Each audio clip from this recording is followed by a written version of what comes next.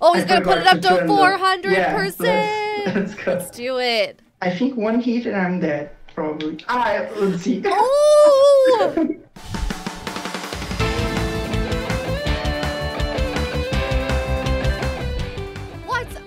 guys? Welcome to the Humble Games stream. My name is Reagan Catherine, and I am here with Henrique.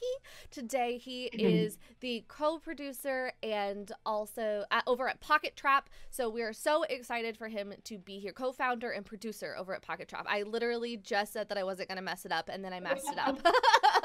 and so one of their games is Dodgeball Academia. So if you guys Yay. have not seen it already, you guys are in for a treat. It's so much fun. We played the demo on our channel just a little bit ago, um, and then also we're going to have Henrique play uh, part of the first chapter today. Okay, so really quick, just before we jump into it, for anyone who is new, can you tell us just a little bit about Dodgeball Academia? So its setting, its Yeah. fiction, everything about it. Sure. Yeah, so Dodgeball Academia is a sports RPG game uh, that takes place in a dodgeball school. So, kind of like think of Hogwarts, but with dodgeball instead of magic. That's what. That's how we usually explain it. And you play as Otto, which is a, a rookie student, and he has a background of being in a in a judge school. So he's very excited to be uh, entering a school that is focused on on playing dodgeball instead of rules and and boring stuff. So What like kind of came up with the concept of making a school surrounded by dodgeball? I think it, it comes first with our main major inspirations, which was um, both us at Pocket Trap and Ivan, which is the co-creator of the Dodgeball Academia universe. We are both very uh, nostalgic, nostalgic, and we were also big fans of games from Camelot, like Mario, Mario Tennis and Mario Golf, which were RPGs for the Game Boy Color. And we grew up playing those um, sports games that had some aspects of RPG, uh, and we really wanted to kind of bring that back somehow. And we also were, were feeling very nostalgic, and we loved games, uh, dodgeball games from back in the day, like like Super Dodgeball and some other um, classic Japanese dodgeball games. So these are all of the teachers at the school, correct? Exactly. Yeah. Yeah. They I remember. I remember the Mm-hmm. one of these teachers from the demo because he made us play Mm-hmm. in the parking lot. Yeah, that's that's Macaco.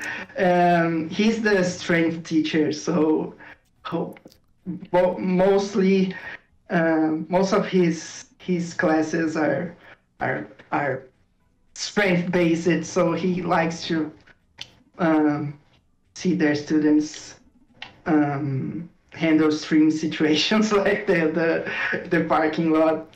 So okay, so I know that you are the co-founder and producer, but can you tell us a little bit, kind of like what your day looks like, what your role in creating Dodgeball was? I know we also talked about um, how you did a bunch of spreadsheets. Oh yeah, yeah. So yeah, that's probably the the number one role of the producer, but not just spreadsheets, but make sure the the project goes forward and and the team's on the same page. Everyone's doing um, their task correctly, and but I have also a game design background and. uh, I did some stuff, especially in the beginning. I, I helped a lot Lorenzi and Renato, which are the programmer and the game designer for the game. We are always talking and we are always sharing um, tasks. So yeah, my my main role is kind of putting the team together and making sure we deliver uh, the best possible game on time, on schedule. So yeah, the- The, chat is saying spreadsheets, the backbone of all good teams. So here, here we have the author joining the ceremony that happens every every year in Dodgeball Academia, and they're in front of this monument which has a ball that is always spinning. This is actually like an artifact of the of the Dodgeball universe. and you can see that we have like a trail um, below the, the monument, which is the original trail because uh, once upon a time a hero threw a threw this ball on this rock and and ended like a, a great dodgeball war.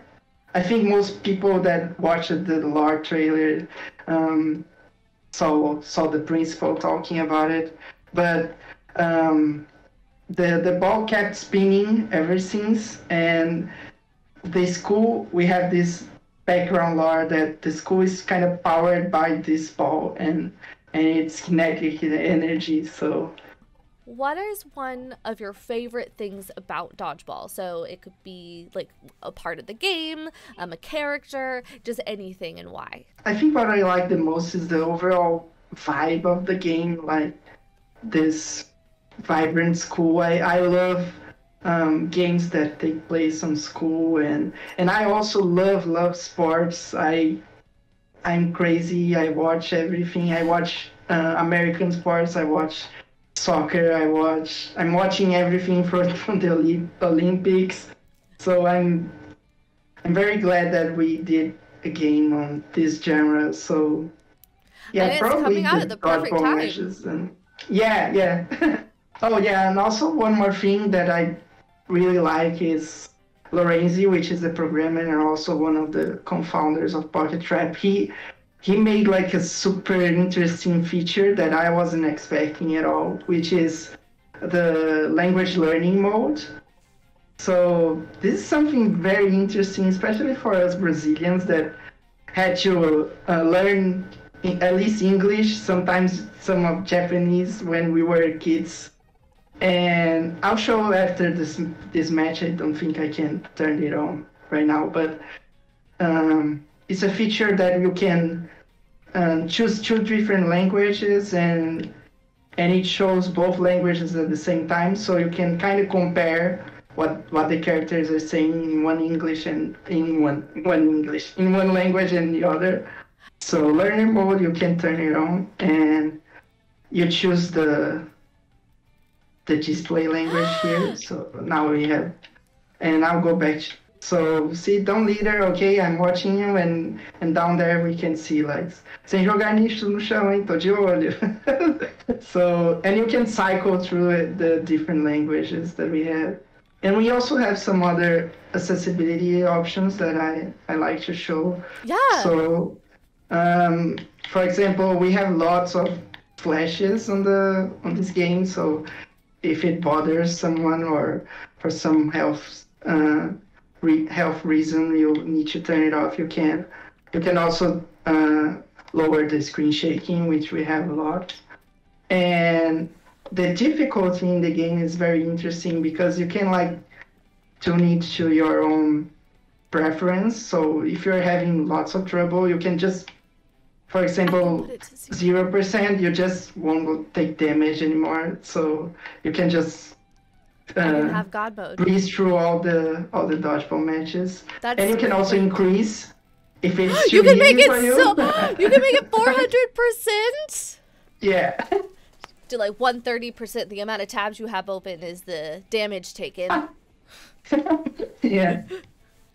And and as a good RPG, of course, we have lots of equipment and items to use since I'm ju- just began the game, I don't have any. But I can't imagine whoever is out here playing dodgeball at 400%. I'm quite impressed because I was playing the demo and I was like, it was like you won, and I was like, did I though? Um, and so also I know that you guys also worked on cartoons before. So what would be like the major difference of working on a video game versus a cartoon? On cartoons, you have more freedom, more creative freedom for telling stories because you know you can use many different depending on your budget of course but you can use different camera angles um, um, different backgrounds different characters and the game is usually more limited.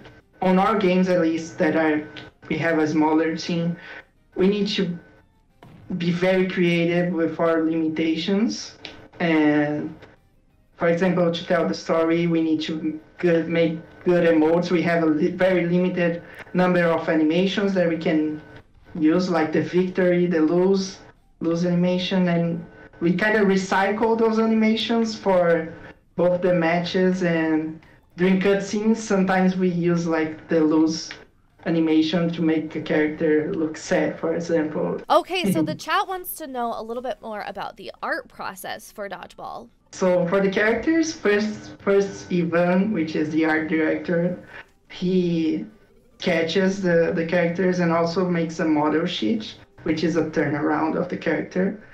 And after the character is approved, we we move on to um, getting these characters inside the program that we use for animating, which is for Dodgeball we use it uh, Adobe Animate and and Ivan would go there and try to separate every pieces of the characters. Dodgeball Academia has a traditional style of animation, so it's all frame by frame. Some games make it different, like they use pegs and they just build like a skeleton for the characters and they they use this bone technique to animate them. But for Dodgeball, they had to redraw every single sprite and yeah, and after that, the animator would get the would get a list of animations that we needed and uh, this model sheet inside Animate, and they started animating. and then I would go there and export this sprite sheet when they they finish it. So.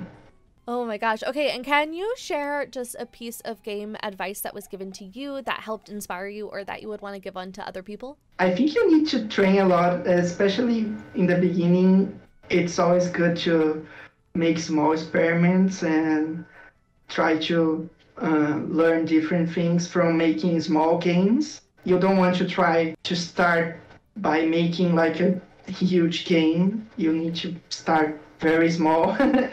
and um, one thing that I like to apply on our games at least is trying to to find like a niche or find a specific element or genre for, for, for your game that can make it pop inside because we have lots and lots of like shooting games and Metroidvanias and so it's very difficult to it will be easier for you to market your game, I guess. So I remember in the yes. demo there was a side quest about finding glasses, which I could never find. But are there are there multiple side quests in every chapter? Yes, for sure. Yeah, each chapter has different side quests and also side activities that you can do. And do you have to uh, finish the side quest in that chapter, or does it carry on throughout the game? Uh, I think there is only one that you can play um, in any chapter. Most of them are, are, episode specific, so you need to make sure you play through um, all of them, or otherwise you end up skipping some some side quests. So guys, make sure you're playing through all of the side quests when you get them. Find the glasses. I didn't find the glasses. yeah. go, gotta go into RPG completionist mode. I know. That's gonna be me. I'm also the worst. I'll get like a million chocolate truffles and then I'll never feed them to Otto. I'll be like, no, I have to hoard it. What if I need it for later? I do the same thing. I usually end up finishing the game with lots of items in my bag because. because yeah, because what if I needed them and then I finish yeah. the game and I have all of them and I'm like, well, well. exactly. Yeah, it yeah, happens a lot with me too. I need a million chocolate truffles. I all of them. I really, I'm just playing the. I'm adding an extra level of difficulty to myself by not using any items. Oh, he's gonna put it up to four hundred percent. Let's, let's do it. I think one hit and I'm dead, probably. Ah, let's see. Oh. yeah. Oh dang! You were doing pretty good though. I think was that one hit or two hits? Just one, but he had like this trophy, which uh, has multi hitting. So. Oh, one KO. But no worries, we can continue the story. We're not obligated to win. But you oh, have different good. dialogue if you win. But Henrique, thank you so much for coming and joining us on the stream today. We had such a great time. It was such a pleasure getting to talk to you. Thank you. Thank you. Very excited to see everyone get their hands on, on the game. Hopefully, everyone will enjoy and have a good time. We had a good time play, uh, making it, so can't wait to see everyone play it. Yep, absolutely. Okay, guys, thank you so much. And until next time, bye. Thank you.